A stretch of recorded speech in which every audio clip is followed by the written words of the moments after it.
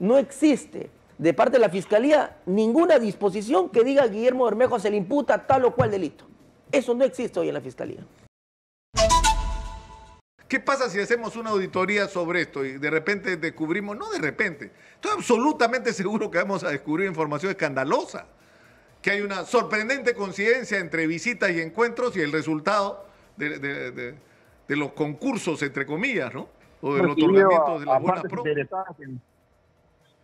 hay, hay casos, incluso en estos dos años de, este Congreso, donde han recibido, ¿no es cierto?, a empresas este, que se han beneficiado hasta con leyes, ¿no? Tú mira lo que está pasando en el Congreso, ¿no?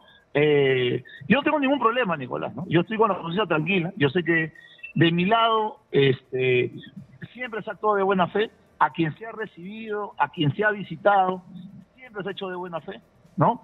Y yo con Piura, la verdad que lo único que me une a Piura es la, la refinería Talara, a la que hemos ido un par de veces, a una reunión con mis compañeros de partido, eh, y a un asentamiento humano, creo. ¿no? no nunca nos hemos reunido, y menos en esos términos, en con absolutamente nadie, ¿no? Con absolutamente nadie.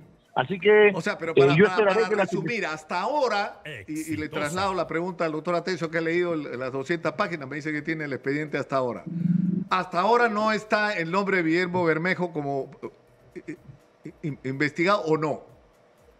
O sea, como imputado, ¿cuál es su condición en esta investigación? El día de ayer concurrí a la fiscalía para poder leer la carpeta fiscal.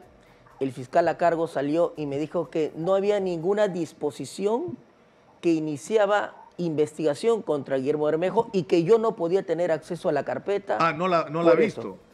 Por eso no podía tener acceso a la carpeta total y con las últimas diligencias. Pero yo le decía, pero ustedes han puesto en, la, en, en, en el requerimiento de detención preliminar el juez, cuando ha dictado los allanamientos y las detenciones, ha puesto a Guillermo Bermejo como una persona que estaría involucrada por terceros. ¿Y cómo no me pueden permitir el acceso?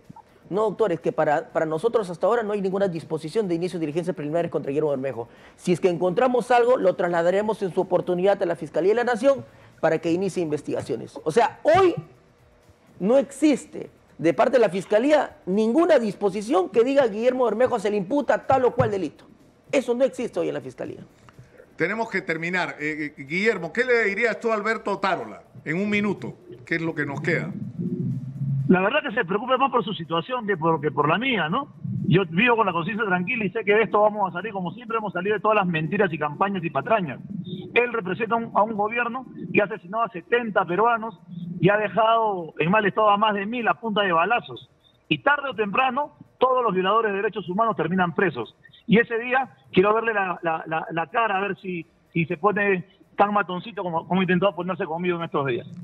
Muchas gracias a Guillermo Bermejo, muchas gracias al abogado Atencio por estar con nosotros, a Ronald Atencio.